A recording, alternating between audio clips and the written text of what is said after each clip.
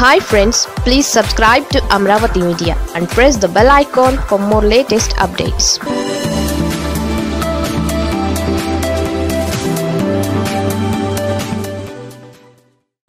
Chandrababu అభ్యర్థిని ప్రకటించిన గంటల్లోనే ఎన్నికల కమిషన్ ఊహించని ట్విస్ట్. ముఖ్యమంత్రి వైఎస్ జగన్ సొంత జిల్లా కడపలో ఉప ఎన్నిక హీట్ మొదలైంది. బద్వేల్ ఎమ్మెల్యే డాక్టర్ వెంకట సుబ్బయ్య అకాల మరణంతో నియోజకవర్గంలో ఉప ఎన్నిక అనివార్యమైన విషయం తెలిసిందే. ఈ క్రమంలో తెలుగుదేశం పార్టీ అధినేత చంద్రబాబు ఎన్నికకు చాలా ముందుగానే అభ్యర్థిని ప్రకటించారు. గత ఎన్నికల్లో ఓటమి పాలైన ఓబులాపురం రాజశేఖర్ను బరిలో దింపనున్నట్టుగా చంద్రబాబు ప్రకటించారు. అయితే చంద్రబాబు తన అభ్యర్థిని ప్రకటించిన కొన్ని గంటల్లోనే ఎన్నికల కమిషన్ ట్విస్ట్ ఇచ్చింది. బద్యూల్ ఉప ఎన్నిక సహా తెలంగాణలో ఎంతో ప్రతిష్టాత్మకంగా మారిన హుజూరాబాద్ ఉప ఎన్నికపై కేంద్ర ఎన్నికల కమిషన్ స్పందించింది.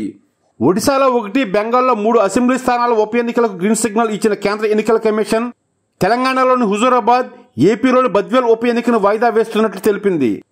దేశవ్యాప్తంగా పలు రాష్ట్రాల్లో జరగాల్సిన ఉప ఎన్నికలపై కేంద్ర ఎన్నికల సంఘం ఆయా రాష్ట్రాల అభిప్రాయాలు తీసుకుంది. ఈ నెల ఒకటవ తేదీన పన్నెండు రాష్ట్రాల ప్రధాన కార్యదర్శులతో కేంద్ర ఎన్నికల సంఘం సమావేశమైంది. ఈ సందర్భంలో పశ్చిమ బెంగాల్ ఒడిశా రాష్ట్రాలు ఉప ఎన్నికల నిర్వహణకు ఎలాంటి అభ్యంతరాలు వ్యక్తం చేయలేదు.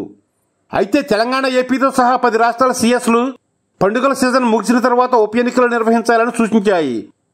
దీంతో కేంద్ర ఎన్నికల సంఘం పశ్చిమ బెంగాల్లోని మూడు అసెంబ్లీ స్థానాలు భవానీపూర్ జంగీపూర్ శంషేర్గంజ్ స్థానాలకు ఒడిశాలోని పిప్లి అసెంబ్లీ నియోజకవర్గానికి ఎన్నికలు నిర్వహిస్తున్నట్లు పేర్కొంది.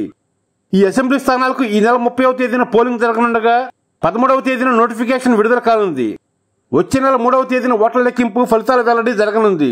ఇక తెలంగాణలోని హుజూరాబాద్ కడప జిల్లాలోని బద్యోల్ ఉప ఎన్నికను దసరా తర్వాత అంటే అక్టోబర్ నవంబర్ నెలలో నిర్వహించే అవకాశం ఉంది.